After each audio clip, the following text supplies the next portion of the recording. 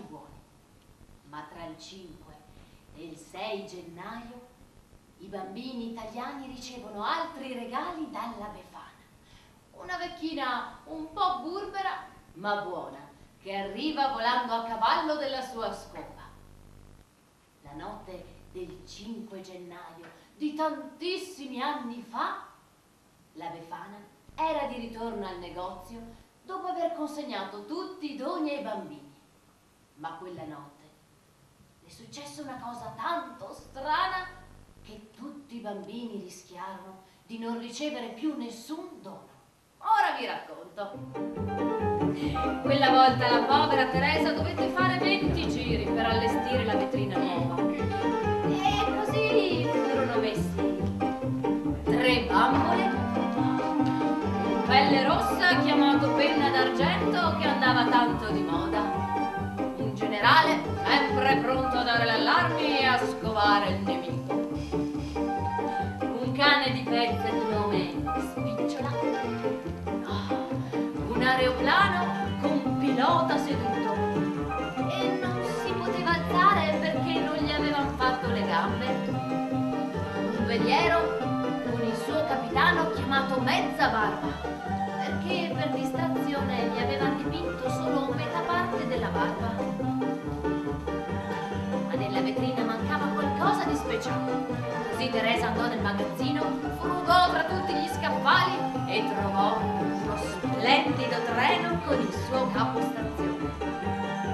La Befana lo battezzò la freccia azzurra. Teresa lo ripulì per bene e il treno tornò a splendere di un azzurro meraviglioso.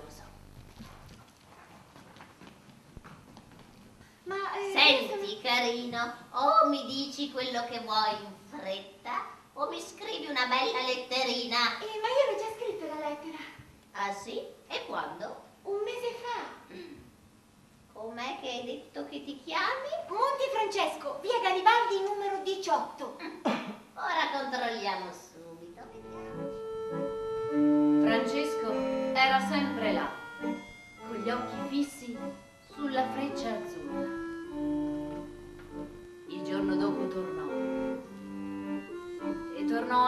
giorno successivo.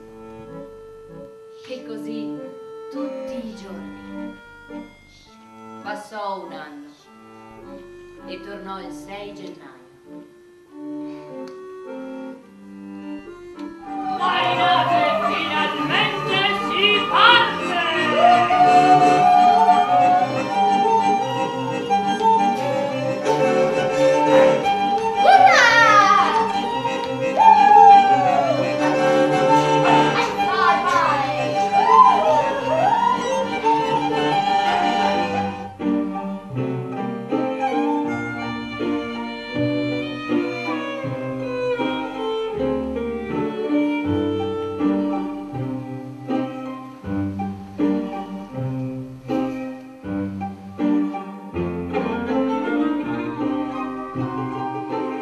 E così, porta dopo porta e casa dopo casa, la compagnia si era assottigliata.